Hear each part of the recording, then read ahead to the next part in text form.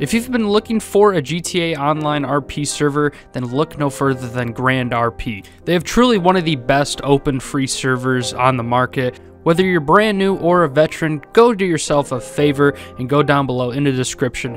Click that referral link and register now. And entering Grand Now as a promo code will earn you an extra $25,000 of in game money to start your brand new GTA RP life. Thanks again, Grand RP, for the sponsor, and let's hop right into it. We keep getting closer and closer to the summer DLC of GTA Online, whether it's going to be big, small, a map expansion of Liberty City, or an online movie production DLC with Michael DeSanta. We're still not sure yet, but today I'm going to be recapping everything that we know and why I think it's going to be some sort of movie production business or sort of like a contract DLC sort of thing that we received last December. Now, in the contract DLC, some of the opening missions with Franklin on the golf course, you were hinted at Michael DeSanta still working at the movie studio. He makes that very, very clear, and we know Rockstar in the past have always hinted for celebrities or just people showing up in DLCs, like the Cayo Perico, for example, about how Dr. Dre lost his phone right before getting on the plane to go to Cayo Perico, and then next year, the DLC, guess who's in it? Dr. Dre, so that's no secret that Rockstar Hiding, that is very common for them to leave things hidden in plain sight and hint towards the next DLC. Now, that's probably not going to be the only thing that convinces you, or even myself, of Michael coming in for the next DLC, but we do have a couple more examples of Michael coming in the next DLC, or just how it's going to be surrounding the movie studio, whether it's going to be a business or just some sort of location that we will be commonly going to. The Vespucci Job remixes that released on PS5 and Xbox Series definitely gave us some more hints within the codes of of the game that resurfaced that added some movie set items here in the code. And in addition to this, an NPC assigned to the movie set scenario uh, between these times in game can also be found. Now he's looking at some tires, rims. Now I don't even think that really matters, but I think he's either accidentally there or shouldn't be exactly seen yet. But for him to be there and in the code is definitely some sort of hint that uh, the movie studio is going to be more active in the upcoming update. As well as Ned Luke, Michael DeSanta's actor in real life, tweeting about it looks like GTA 5's Mike. Michael might be coming back to GTA Online. That's definitely no hint with how strict Rockstar is about talking about, you know, keeping things on the down low. They definitely wouldn't have let him do this unless he was allowed to, and I definitely think he was allowed to say something or hint at something, but not get into too much detail quite yet. Thanks again to Tez Fun 2 over on Twitter, always giving us these great inputs, great scoops of details within the Rockstar games, like especially GTA Online. Uh, I don't know where the hell I'd be without him, honestly. But now that we have all the details, all the hints, all the examples, let's talk about some possible concepts of this movie DLC or just movie production DLC overall. I think I have a few ideas of what it could be, and uh, I would like to share my ideas with you. And of course, you guys are welcome to share your ideas as well in the comments down below, whether you agree with me, disagree with me, you think I'm an idiot or whatnot. Um, it wouldn't be the first time, but let me know down below with a comment what you guys think as well. I think it's going to end up being a brand new business. Michael is going to ask for some help.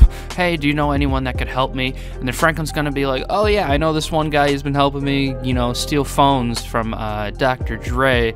And he's going to give you uh, his number. And then you're going to become in contact with Michael. Now, why he needs help is going to be, I guess, up for grabs, whether Solomon Richards has passed away, because he is very, very old. Even in 2013, in the single player, he was quite old. So so almost 10 years later, he's probably getting close to being on his deathbed, or he just needs help, or just wants to increase the movie production um, and just make more movies, make more money, period. So I guess you could buy this business for, let's say, $2 million, and then you can start creating movies. Now, you probably wouldn't be able to actually set up a camera and start videotaping things, but what it'd probably be is just more of a passive income business, kind of like the nightclub, where, for example, you buy a warehouse technician and he collects goods for you. Now, in the movie production, maybe you buy a director, buy, you know, a few cameras, or buy some actors. And the increasingly level actors you gain, the more money in more, you know, RP you will receive from these movies. So you buy the most expensive director, you buy the most expensive cameras, you buy the most expensive actors, you will make the most amount of money. Now it probably could take like up to one to two in-game days, for example, to make this movie, and then you'll be um, compensated for your help for you know funding the movie and make some money from that, whether it be a safe in Solomon Richards' office or you'll just be compensated through online, you know, wire transfer, who knows, but something like that. Now, some of the annoying side missions or supply missions or just uh, missions in general that might come with this might be that, oh, an actor, he needs a special chair to sit in, so you need to collect this chair from wherever it's been stolen, blah, blah, blah. Or like in single player, for example, if you remember the GTA 5 single player missions with Michael, Rocco ends up going kind of AWOL. He's not getting enough money for this movie, so he goes and leaves, and then you get in the big fight with him on the roof with the helicopter, and then later on, he beats up Solomon Richards, and then Michael has to actually go out and kill Rocco. Now, having some issues with actors or directors and you need to set them straight or you know beat them up or you know threaten their family or something you know this is GTA online so a lot of things could happen. It could get really goofy or just you know really really fun. So I think some of the missions like that wouldn't be too far-fetched considering we've actually already done them within the single player as Michael himself now, the spring and summer DLC of GTA Online always has this tie-in to the winter DLC of GTA Online, like the Diamond Casino update in the summer turned into a heist update in the winter.